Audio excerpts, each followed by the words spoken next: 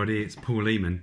And no, I'm not auditioning for Captain Jack Sparrow. In fact, I don't need this now. But a couple of weeks back, just before lockdown, working in the kitchen, the compasses, my eyes got very dry. My lenses rubbed against my cornea.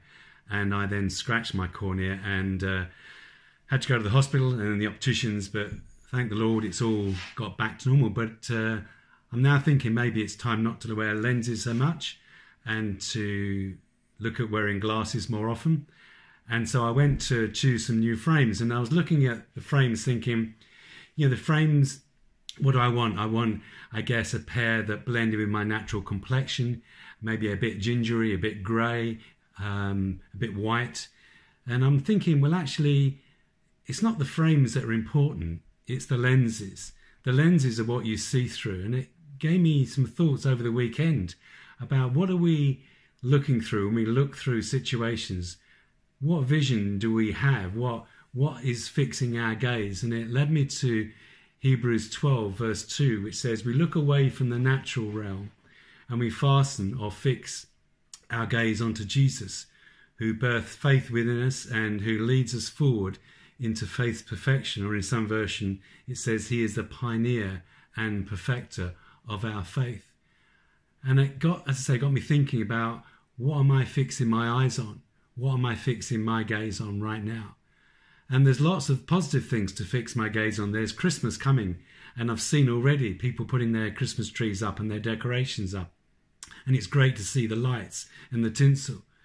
And then my gaze can be upon, well, we're just coming out of lockdown 2.0 and we're going into tier two. And how does that affect us? Then I'm thinking, well, the positive things we've got Christmas coming who can be in my bubble? Our children, our grandchildren. And there's lots of things that we could fix our gaze on. And it got me reminded of a song that was one of my mum's favourite songs, which is Turn Your Eyes Upon Jesus. Look full in his wonderful face, and the things of the earth will grow strangely dim in the light of his glory and grace. And in fact, I sung that to my mum just days before she passed away. And that song, the words may be a little bit old fashioned. The things of earth will grow strangely dim. I guess in today's parlance, we think about they become less significant. And for me, at this time, I just want to fix my eyes on the Lord. I want us to fix our eyes, fix our gaze on Jesus. And while there's great things to look forward to, there's our daily walk with God, there's our communion with God, there's our praying to God, there's our worship of God.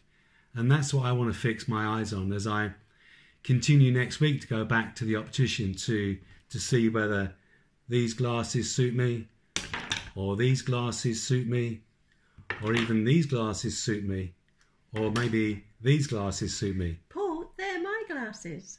Well, that's one less pair I've got to worry about. So whatever you're doing, however you, and that was Kim laughing there, whatever you're thinking about, fix your eyes upon Jesus. Look full in his wonderful face. So God bless. Hope to see you, some, some of you, at the Christmas carol service at the car park soon. Take care. God bless. Bye now.